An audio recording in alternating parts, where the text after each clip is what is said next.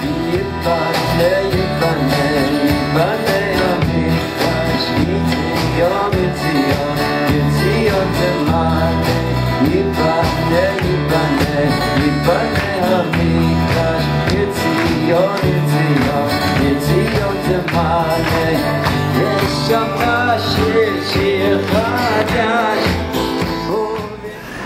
Shalom Aleichem, everybody. Welcome back to the Yiboneh Beit Midrash. Welcome home to Torah. We're always using the, we shouldn't say we're always, we're almost always using the Kli Yakar for the basis of our discussion. And the Hebrew sheets are available. The source, the original source sheets are available on the web page, and you'll find down below in the uh, YouTube description box a link where you could follow along in the Hebrew, which we highly recommend. We are, pa- we are in perek, in uh, chapter 32 of Numbers. We're in Mattos. And next week in Chutzlaritz, it's Mattos Mase, it's a double parsha. But um, here we are, and we are going to discuss this concept. Just, just know that there are two and a half tribes, and we're, we're discussing the um, discussion of two of the tribes with Moshe, where they want to choose to inherit what is called the eastern side of the Jordan River. They have a lot of livestock, and this land is quite um, plentiful when it comes to uh, food for the livestock. And uh, they want they want to inherit it. Let's just say at that point there must be a misunderstanding. Moses is under the impression that perhaps they actually want to refrain from going to war with the rest of the tribes going into Israel. They clarify it and they say no. we're actually just want to inherit it, and we'll go and we'll fight and we'll come back. So just to get like a running start, if you look in the verses, I think it's um, in verse 5, for example, where it says, If we have found favor in your eyes, let this land be given to your servants as a heritage. Therefore, they want to, um, they want to have it as, a as an inheritance. Do not bring us across, across the Jordan. That could be understood as not going to go to war. Moses responds in verse 6 and 7. Moses says to the children of Israel and the children of Reuven, Shall your brothers go out to battle while you settle here? Why do you dissuade the heart of the children of Israel from crossing into the land that Hashem has given them? And then Moses says, Aren't you acting very similar to what the spies did? And look in Rashi on that. Why do you, why do you dissuade them? Why do you remove and hold back their heart from crossing? For they will be under the impression that you are afraid to cross because of the war, uh, because of the strength of the towns and the people. Um, so this is a very important thing that there was a clarification. However, nevertheless, we're going to deal with some of the nitty gritty nuts and bolts of their ta'ana, of their a part of their claim, and to help us understand why they even had a claim to begin with. And so we're going to start in verse 1 of chapter 32.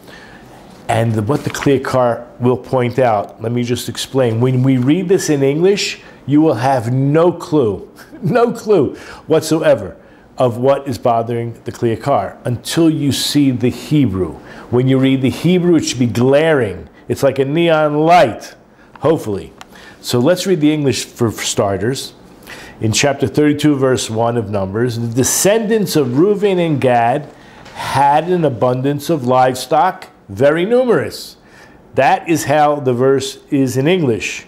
And they saw this particular land, the land of Jazer and the land of Gilad, and behold, the place was a place for livestock. It was very um, green. It had a lot of food growing. Now look at the look at the Hebrew. Okay, when you look at the Hebrew, you will understand what I mean. That we'll call a description or an adjective is split between Reuven and Gad, and therefore, when we examine it carefully, you'll see that Reuven had one thing on his mind, or a particular reason why they wanted to stay on the eastern side of the Jordan, and Gad had his own reason. Well, let's see. It says in Hebrew, "Umikne Rav haya livne Reuven," and we'll just pause for a second. That the livestock was a great amount. In other words, numerous. When it came to Reuven, he considered what he had a lot. whereas ulivnei Gad atzuma od. What's the difference between Rav and atzuma od? We're going to find out because atzuma od can also mean plenty, right? It could mean numerous as well, but there's a little bit of a nuance that it actually is referring to strength and power. Okay, we'll find out. Now, that's the, going to be the very first words of the Kli Yakar. As soon as we look on the source sheet where we quote the verse, Umikne Rav Haya Livne Ruvain, Ulivne Gad Atzuma Od, it says, Midolo Arvinuhu Lomar, Umikne Rav Atzuma Od. He comes to a conclusion which I'll read in a second. He clearly says, from the very fact that these two descriptions, Rav and Atzuma Od, are not intertwined, they're not connected they're not mixed together as one statement like it could have said in Hebrew. it seems like that's what it says in English. But if in the Hebrew, it could have said the livestock was plentiful and strong. But it doesn't. It clearly says when it came to Ruvain, he considered what he had was Rav, and when it came to Bnei Gad, what he considered the description of his livestock was Atzuma Od, which we will translate for the time being as very powerful. So the Kli Yakar concludes Shema Mina from the very fact that it's not mixed together, that these descriptions are attributed to each one of these two tribes. Shema Mina Shekol Echad Milsa Bi'ape Nafshe. That each one, it infers clearly that each one is a matter on its own. Each description is referring to that specific tribe. Ki livnei Ruvain, when it came to the tribe of Ruvain, meaning the children of Ruvain, haya mikne rav ba mispar, there were a lot, at least in terms of quantity, uh, a, a, great number. Ulivnei Gad haya mikne atzum bakoach. I'm only reading the words, but we're going we're gonna find out what that description is. What does it mean, atzum bakoach? according to Bnei Gad, their description of what they had, or the Torah's description of what they had, was that they were enormous in power. Okay, maybe maybe not number, but at least in power. And the Kli Yakar brings down as proof that you could have flock, whether we're talking about goats or sheep, just flock in general, as atzum bekoach, which means enormous in power, from a proof in Job. Look at number three on the English, English source sheet. Job, chapter 1, verse 10, describes the, the Satan wanting to test uh, Job and having a conversation with Hashem. Haven't you made a hedge, some kind of a, let's say, uh, a fence or security Uh, around him, his household, and all that he has on all sides? And what does he say? You have blessed the work of his hands. He obviously has a tremendous success. And his livestock has spread out in the land. That's a very interesting way to describe Job's success. Look in the Hebrew. When it says, Masa Yadav Beirachta, obviously the, the result, the produce of his hand you have blessed. Umiknehu paratz. Paratz means to break forth, spread out but it's a very strong word. Something strong that's able to break through the land. Okay, so basically, I want to take you to the Talmud Bavli and Baba Batra, and we'll see this. Basically, I'll read the words of the Kli Yakar first. He's quoting the Gemara, She'izim shalo haya horgim ze'evim, that that Job's own sheep or goats, in this case the goats, were actually killing the predators that came, I guess, that came to try to attack them. So let's look at number four in the English source sheet. The, the Gemara continues with its explanation of these verses. What does it mean in the verse we just quoted? And his livestock is paratz, increased in the land or spread out in the land. Rabbi Yossi Bar Chanina says that the Job's livestock breached the order of the world. Now, I don't even know what that means, but I think the next statement clarifies. What does it mean? It breached the order of the world. It is the way of the world that wolves kill goats. That's usually how it works. But in the case of Job's livestock, it was the goats that killed the wolves. Now, so there is such a thing as atzuma od. You can have livestock that is usually timid and domestic and domicile, and yet be um, as ferocious as Job's were. So we can understand it's possible for Gad's as well.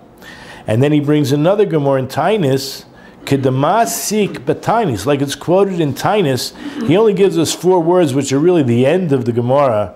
Lacey Ize Dube Karnaihu, which means these, these sheep came back with bears in their horns. But let's look at the Gemara. It's number five in the source sheet. Uh, Rabbi Hanina ben Dosa had some goats. Now his neighbors, may be right, may be wrong, but at least they spoke up and they suspected him of sending his goats onto their property and eating their their fields. Now, it's forbidden, right? It's if you own the goats, you have to make sure they only go into hefker property and they don't go and steal from your neighbors. It's one of the reasons why it's really not proper to have a um, to be shepherding in the land of Israel. But anyway, let's move on. He said to them after they made this accusation that your goats are damaging our property. He said to them like an interesting idea. Listen, if I'm guilty, my own goats should be destroyed by bears. But if I- my goats are innocent, meaning if I'm innocent, this claim is not a claim, then what we'll see as a result is my own goats will come back with bears between their horns. And the Gemara concludes that's exactly what happened. In the later that day, that each one of these goats brought a bear impaled between its horns. So uh, what I, I think the Kli Yakar is doing is building his argument that Gad's sheep, when it says atzum ma'od, it's not such a foreign idea that there is such a concept that these um, domicile animals can certainly be vicious or atzum ma'od. And that's what the Kli Yakar continues to say. Kachaya livnei Gad. This is the conclusion that Bnei Gad must have had miknei atzum ma'od, bechayel v'koach, very accomplished and powerful uh, animals. Al kain bacharu leishev al hasfar. Now this is what the Kli Yakar is going. This is exactly the reason why they chose to be by what's the sfar? Sfar means the border a border town or border. Border towns are usually very vulnerable to marauders or the enemy, but basically you're not in the center of civilization where you have protection of neighbors and whatnot. You're really on the edge. Frontier. The frontier, there you go. Now, they chose this for a reason, and not only that, lo haya pachad ha'oivim leneged einehem, then they would have no fear of their enemies. Ufen yikachu hazevim miknehem. So there's two things. One is they didn't fear the enemy, and they didn't fear that marauders or stealers, or in this case, ze'evim, uh, wild animals and wolves, would try to steal or take their goats because their goats knew how to defend themselves. So there were two reasons why they didn't mind being in the frontier not afraid of the enemy and not afraid of wild animals. Ki al kocham. I think this is very important because we're going to talk about who should you trust. So they trusted or they relied upon the might of these particular animals. Now, nothing wrong with that per se. In other words, we're, we're asking why did they want to or desire? We already said it's, it's a very luscious area for the goats. In fact, that's where the goats came from, that area. But more than that, um, they trusted them to be on the front line, so to speak.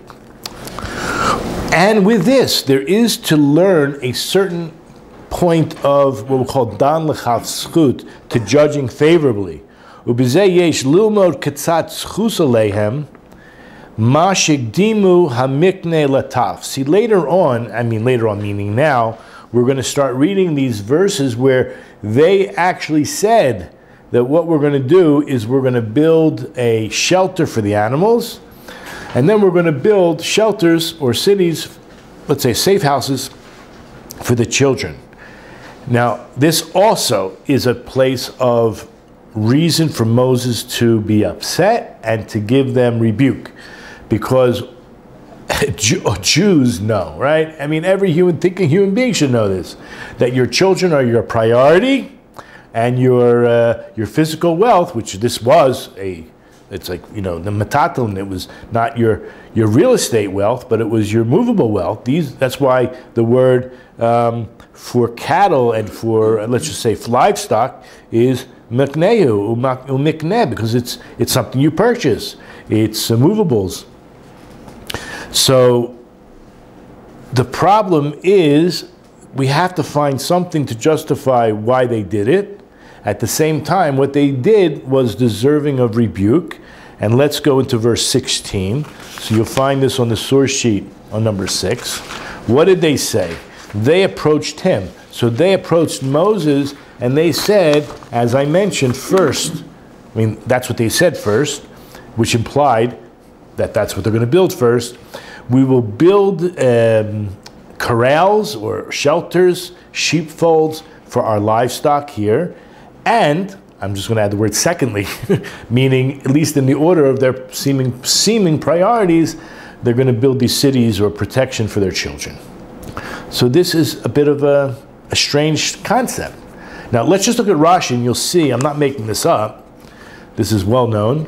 Rashi says when it says we will build these sheepfolds for our livestock here, Moses was upset. He, they were more concerned about their possessions than about their sons and daughters. Now, it could be an assumption, and we will see that it is an assumption.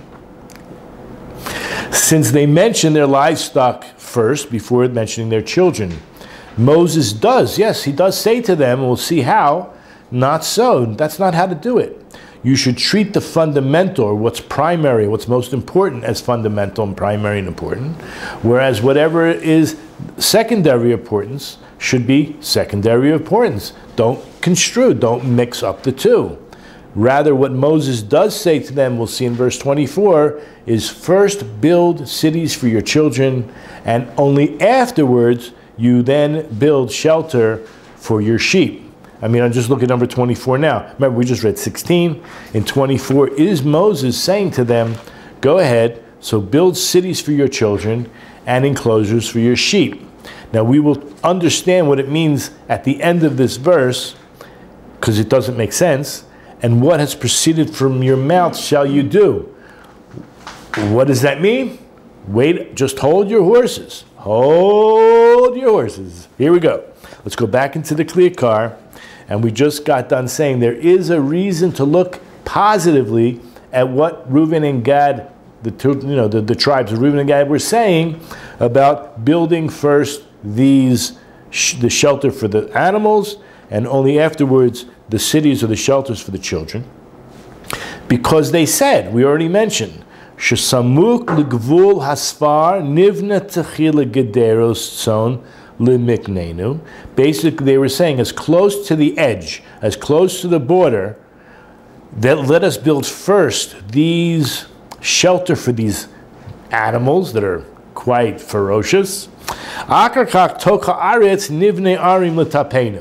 And then later, within the land, meaning within the area that we're going to occupy, then let us build these shelters for our children.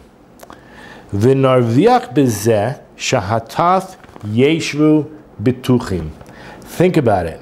What were they saying? That basically, what benefit is there to build the corrals first? Because then, when we finally have the children, they'll be in a safe place. Not like today, what they call safe places, safe spaces, but a truly safe space away from the enemy or even from the wild animals. That they will dwell in, let's just say, security, betuchim, in, in surety or security. She'im yavo ha'oivim, we're now on page two, that if the animals, the wild animals, no, I'm sorry, ha'oivim, the, uh, the, the enemies, that if the enemies would come, what would we do? We would send our first response team, the kotat, the, the kitat konanut, right? Yavo techila el um, gidros tzon. So they, the enemy, here in the, in the case of the enemy, they would first attack the sheep that are in the in these corrals that are by the edge, and what would it was like an alarm. You'd hear the, the chaos, you'd hear the moaning and groaning. Who knows? Animals make noise. Ubeini beini. In the meantime, Yimaltu hatav will be able to save the children. Vahamikne shal hasfar, and therefore by us leaving our animals corralled up by the edge of the camp or the edge of the border of the border, not, not far from the enemy, Enan mityari min haze'evim. We will have no fear. We don't fear even the Zez. First, we're not going to fear the enemy, and we're certainly not going to fear the wolves. Nevertheless, even though we tried to find some reason to dan lechatzchut, to judge them favorably, Moses did give them rebuke. He did. So im kain ein atem botchim b'teshuas Hashem. We said earlier on they were relying on their what? On their sh- strong sheep or numerous sheep or both to protect them, and therefore they were not relying on the salvations of Hashem. I'm just reading the words, don't shoot the messenger. Elakak But rather, what did Moses, the rebuke of Moses in verse 24? Banu lechem arim letapchem. He, he changes the order. He says, no, the first thing you should do is build these fortifications for your own children.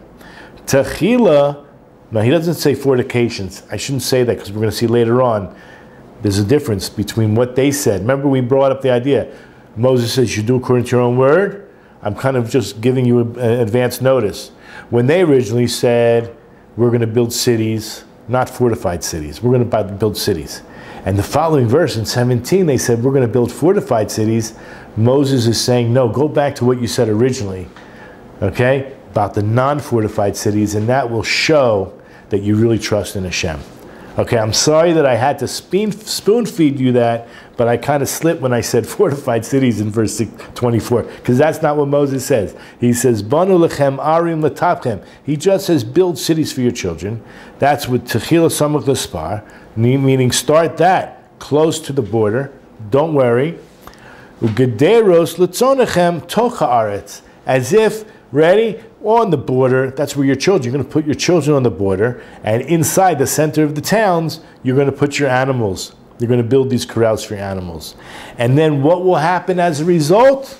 Va'achechem kol beis Yisrael, all your brothers, ah, your, your, your Jewish brothers, what are they going to see? Yiru ki atem botim Hashem. They will actually see what great faith and uh, belief in the salvations of God. Ubazet titnu oimetz beleva chechem sheyibtechu kulam b'tshuas Hashem. And through this, uh, it's almost like Mesirus Nefesh, it sounds a little crazy, but through this you will actually fortify a certain amount of courage and um, strength in the heart of your brothers, that they will come to believe, all of them, in the salvation of God. And then he said, Hayotze mi pichem ta'asu, which threw us off because we have no idea what he was talking about. And whatever came out of your mouth, you should do. Because originally in verse 16, they did say, Va'arim letapenu, just stam cities, mashma arim koldahu, just regular cities without walls. Chazru midivreihem v'amru, and later on in verse 17, it sounds like they retracted or somehow they changed their mind from just regular unwalled cities to Arim, I'm sorry, the Yoshav Tapenu Bi'are Hamivtzar, which means that our children will reside in fortified cities. See, the very fact they're fortified and Moses saying, No, go back. It's better to have these unfortified cities. I just want you to know another idea. When we when we spent when Moses sent the spies into the land of Israel, he asked them a bunch of questions beforehand. He wanted to know, are these fortified cities or not? And it wasn't a trick question, but there was deep knowledge that if you're going to attack and they're very fortified, that's a sign that they're actually weak. I mean, we would think right? At first glance, oh my God, a fortified city, there's no way we can conquer them because they're so fortified. But it's the weak people that build the fences around themselves, whereas the strong or courageous, or maybe they're crazy, uh, will live in a city without any walls because they have belief in their own, you know, Krav Maga, if it ever came to it, we can take care of it, right? They have a certain sense of strength or they believe, you know, it could be uh, misguided. Confident. But they have a certain confidence and, and therefore a certain strength that they don't need these walls. So if you have unwalled cities, they're actually harder to fight and harder to penetrate than the walled cities. So you get the idea here, it's, it's consistent with the idea here that Moses would have them rather feel the strength in the truest of Hashem, of the salvation of God, and not in the, the salvations of the wall. Although, look, we're, we're on the level we're on, right? It doesn't make sense to us, correct? It's, it's very hard for us to grasp this. But when you're living with miracles for all the times they did, even though they're coming to the land, but there is a, a tremendous amount of faith that one should have, and Moses is teaching them on his last, you know, he's about to, uh, he about to start Deuteronomy, so we know that uh, there's not much time for his life. He wants to teach us, because he's Moshe Rabbeinu, as much Torah, um, as much faith about God as he possibly can. And this is the Tochacha of Moshe, Al Kain. Oh, I skipped something? I did skip something. After we read this verse 17, where it says, "Build," right? We're gonna we're gonna live in these cities and build these fortified cities for fortified cities for our children. It's mashma shechashvu lehisagev bechoizek ha'arim, that they thought to build very strong, exalted cities. The aviu moirek belev hanashim. But unfortunately, if they did that, that would actually bring um, a actual weakness. That would actually bring a. I'm not going to. I don't know if cowardliness is the word, but it's a weakness. It's a breakdown of the morale. That's the point. Al kain Moshe. That's why Moses gave them this rebuke, and he said in verse 24, "Banu lechem arim latapchem." His words to them was, "Go build those cities, not fortified cities." And what, com- what came out of your mouth uh, you should do. Kikavar martem, because you originally said in verse 16, we're going to build cities, not fortified, we're just going to build cities for our children.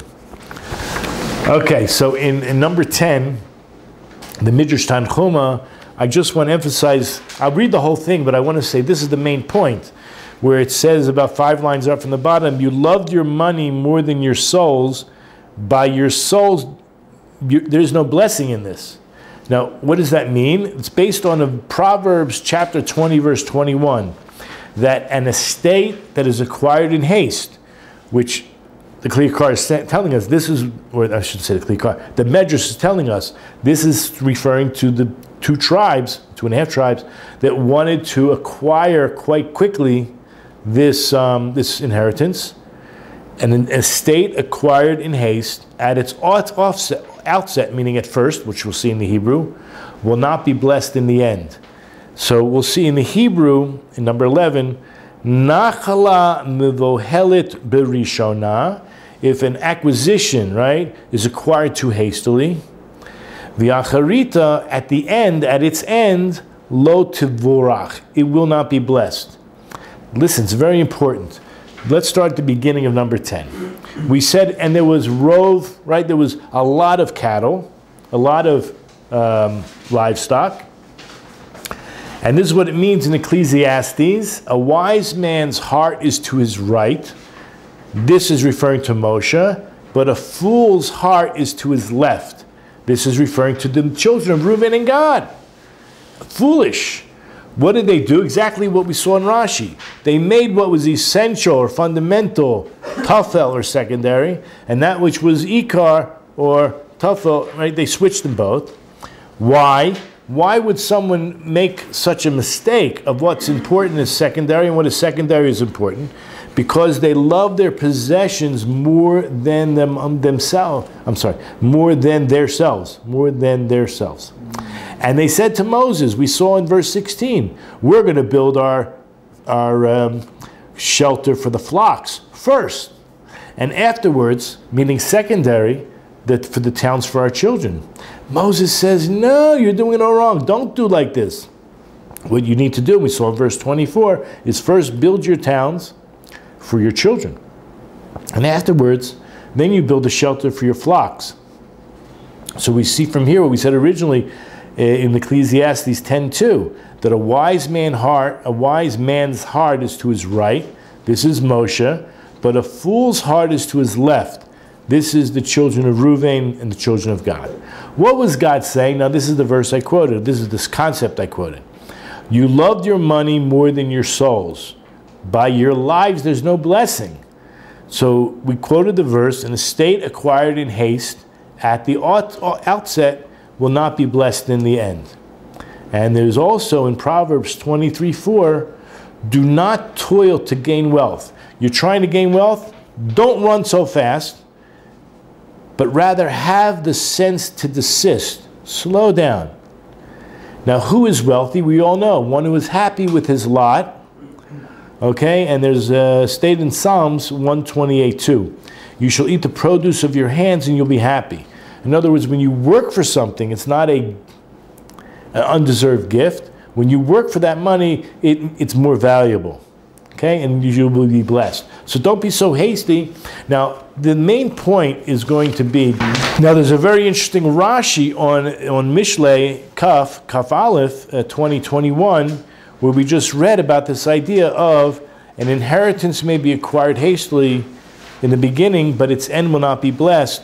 Rashi says, with, on this verse, which one hastened to take hurriedly? Like who? we see that the sons of Gad and the sons of Reuben, they wanted to quickly take their share on the other side of the Jordan. And they spoke hastily. They, they spoke up in verse 16, right? We want our, our we want to build these, um, these shelters for the sheep and the cattle, and we'll then build the cities for our children. What they did is they made the main thing of secondary import, for they placed their flocks before the children. What happened at the end? Drum roll, please. What happened at the end? I mean, this is like a sad ending. They were not blessed. Who were the first of the 12 tribes to go out into exile? So that's why we're going to quote First Chronicles chapter 526. Uh, but before we get there, it says like this For they were exiled many years before the rest of the tribes as is expressed in Seder Olam, chapter 22, as well as the Midrash of uh, Rabbi Tanchuma. Um, in the second year of Achaz, the Lord aroused the desire of the king of Assyria, the rod of Hashem, and took out those two and a half tribes. But the rest of the tribes were only exiled in the sixth year of Hezekiah, which is in the ninth year of Hoshea, the son of Elah. Okay, as clear as day. Look at First Chronicles chapter 5, 26. It says, And the Lord inspired Pul, the king of Assyria, and Telegath, Pilneser, the king of Assyria, and they exiled the Reubenites and the Gadites and half the tribe of Manasseh. Okay, so they were the first to go. So the, back to that concept in Mishle, was it in Proverbs, that an estate acquired in haste in the beginning, which is what happened, in the, uh, in the end, will not be blessed. And that's not a blessing to be exiled. So let's go back into the Kli Yakar and continue this thought where all we read was the verse in Mishle. So two lines down in that paragraph, Lefi nachalatam biroshana, since they took their inheritance first, Al kain acheritam lo tivorach. Therefore, whatever comes later, their end was not blessed. Ki halchu barosh kol golim. They were the first to be exiled. As we just read in Divrei Yamim Chronicles chapter 5 verse 26. The Yaglem l'Ruvene ulegadi. Now, it's interesting when you look at the verse, right? Nachla mevohelit birishona, and then there's a vav the acharita. The English we said, but your end will not be blessed. Either way, what do you mean end? Either way, what is the end? What is the vav doing there? So he's tried to explain it. Now, in order to explain or justify or resolve any issue with that one letter vav, which seems out of place, nira shekach perusho, that this is what it means. According to the, the rabbis, Ladat Rabbi Zal, we already said, Hikdimo Hamikne. The problem was they put their children before their, sorry, Hikdimo Mikne, they put their, their um, livestock before the children. Regarding this, that's what this verse is referring to. Again, what is your inheritance? Higdimo nachlatam hainu mikne, meaning the acquisitions, which we call the flock. These are the movables.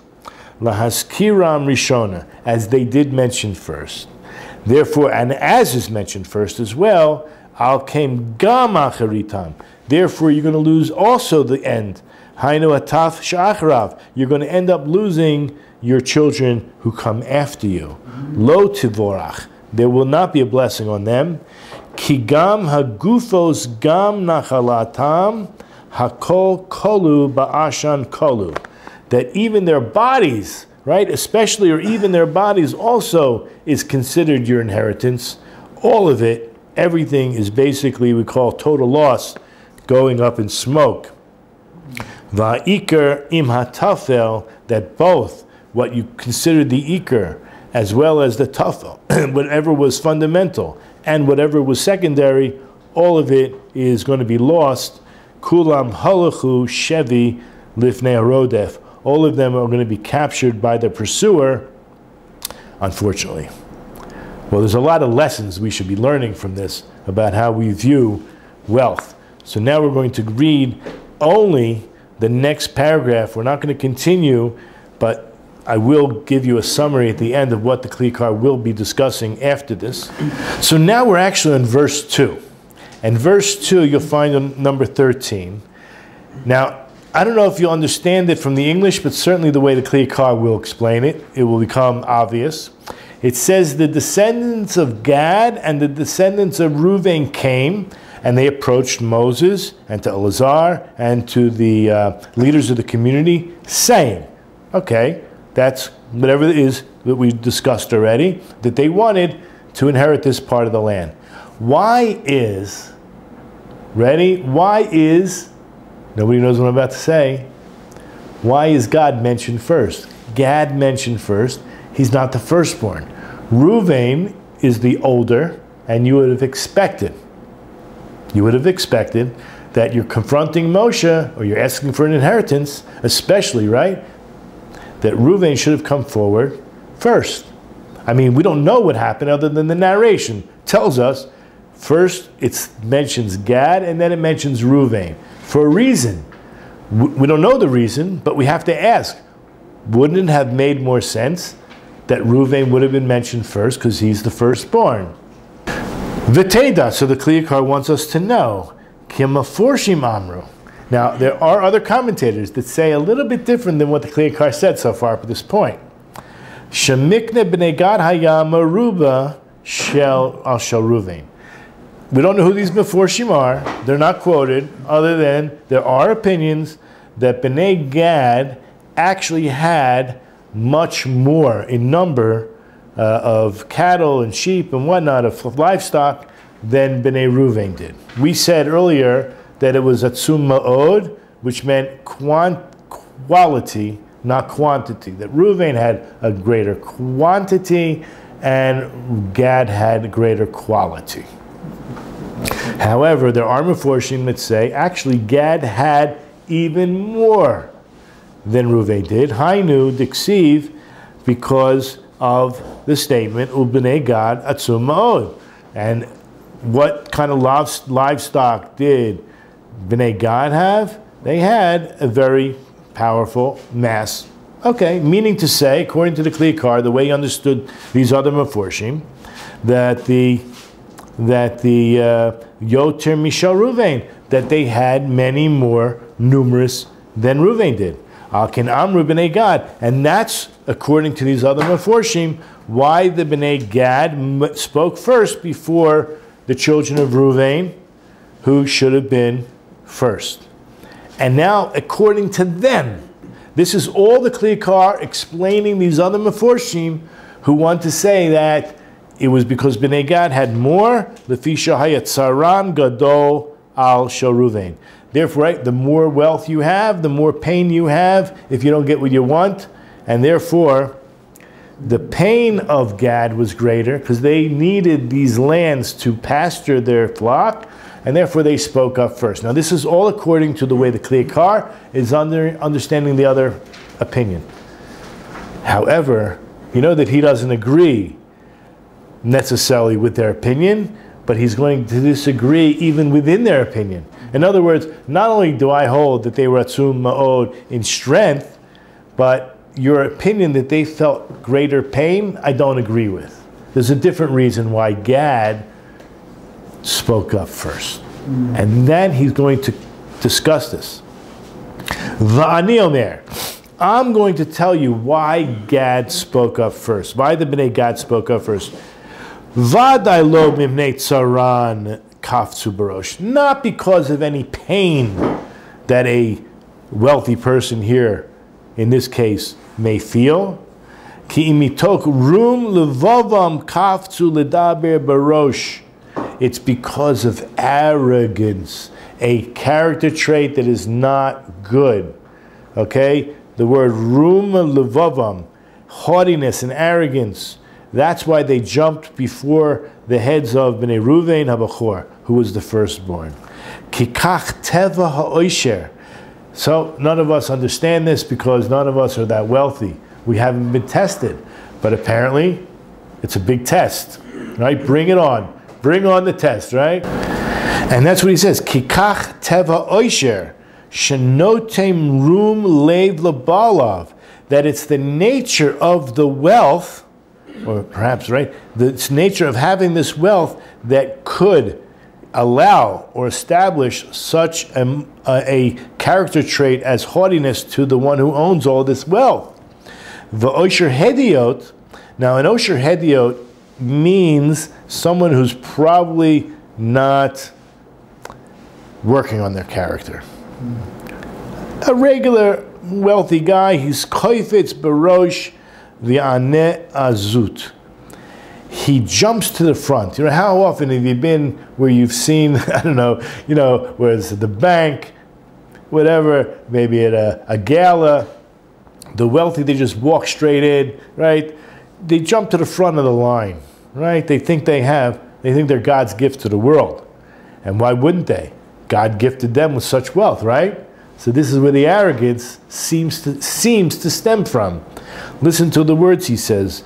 The usher hediot koifetz barosh, the ane azus, with such bold and brazenness, lo yashuv mipnei he doesn't bow down for anybody, he doesn't sit for anybody, he doesn't respect anybody.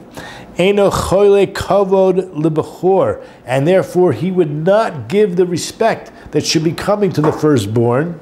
Lo shum baale amala amitit, which is not the way someone who's really worked on their character would do. Bechashvu ki al yedei oisher hu mitromen. That they consider that it's because of the wealth, it's through the wealth. I'm obviously very gifted. Mm-hmm. I, I mean, I'm at the top of the, you know, the pyramid. I'm the 1%, right? I'm the top of the food chain, whatever it is. Now, the Kli Yakar, honestly, the Kli Yakar goes on for at least two full pages and goes through some really deep things. But what I want to kind of do is sum up at least certain points. I'm not doing it any justice. But if you look on page five, there's this whole idea of number 16, for example. Actually, I might as well deal with number verse 7. It's 75 7 in Psalms, in number 15. This is, for it's not from the east, nor from the west, nor from the desert does elevation come. the truth is, this is like a hint to the idea not from the east side of the Jordan, not from the west side of the Jordan, and obviously, certainly not from the desert. You, you know where the elevation is going to come from? Don't look to this world. Don't look to be the greatest businessman. That's not where your wealth is going to come. Right? You, I know plenty of people, they put in the work in the business, and they're not as rich as some of these people who don't put any work in. Right? It's just, it's mind boggling how the world actually works. But this verse is saying don't rely on your physical, necessarily efforts, whether it's from the east or from the west. Um, but rather, as the following verse says, but it comes from God, basically. God judges. He humbles this one and elevates that one. Just keep this in mind for one second that where did they get this great amount of wealth? The Torah actually tells us they got it from the Midianites. Why does the Torah even have to tell us that? If God so desires, He wants to make someone rich, why does he have to take it away from one and give it to another? Let him just snap his fingers, blink his eyes, go huff and puff, and bang, the guy's wealthy. It seems like he's taking it from one and giving it to another. And there's a reason for this. There's a reason for this. Look in just Isaiah number 40. Actually, I want to, you know what? Go into Rashi on 75.8, where it says he humbles this one and elevates that one he, the elevated one he lowers, and the lower, lowly, he elevates. It's up to him. Okay? And then in verse uh, Isaiah chapter 40, verse 4, every valley should be raised. The valley is that low place, and it's going to be raised. And every mountain, which is the high place, and every hill shall be lowered. Again, Hashem is not just making wealth out of the blue, but he's, I think they say in today's society, there's a transfer of wealth, mm-hmm. right? So the transfer of wealth, what does it prove? That there's a judge, that there's a God. In the sense that one should behave properly, not perversely. In other words, it's supposed to set a, a certain fear or awe or sense of reality in that rich person. I just got rich, but that guy was rich, and look at him. Now he's dirt poor. That could be me tomorrow or the next day. I mean, it sets a certain sense of reality because that's ultimately God wants you to be responsible for your behavior and not act like you're God's gift to the world. I got this and I don't care and I'll step on whoever I want. That's not the way.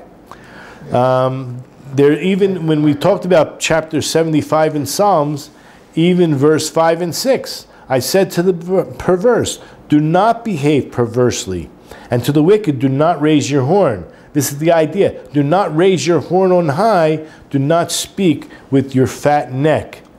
Going back to our chapter in Numbers 32:19, because they, like, you know what? This is already beyond us. This would be a great way to place to stop. The Kli Yakar goes on for two and a half pages, describing how we need to deal with wealth, how we need to deal with our character, and not be arrogant. Okay, and this was his premise, his thesis for the reason that Gad stuck his neck out, so to speak, and spoke up because of arrogance. So hopefully, I mean, we know that you're not allowed to paskin from your Rebbe. There's certain things. I mean, we have to work on our character and give honor and credit to those it's due. Um, I will say, go to, if you're interested, I gave a shiur on the 48 ways, not just a shiur. 50 episodes or 51 episodes. Okay, I'll put the link down below as well. You want to acquire Torah? It's all about derech eretz. It's about uh, working on your character. And Gad, unfortunately, seems to have made a, a I say Gad himself. We're talking about Bnei Gad, right? Has seemed to have made a grave mistake by stepping forward. It was a sense of arrogance, and hopefully, we can all learn to trust in Hashem and work on our character and uh, learn some very, very valuable lessons. Imir Hashem, Bezrat Hashem. At some point in the future, I will try to give a shiur on those two and a half pages because it's definitely at least an hour's worth of material, minimally. Um, so that would be a shiur on, it, on its own. Anyway, so I want to wish everyone a Shabbat Shalom, a Chodesh Tov, Mamash, Menachem Av. We should see some real uh, consolation uh, this coming month, and a Shabbat Shalom. Kol Tuv. Have a great life.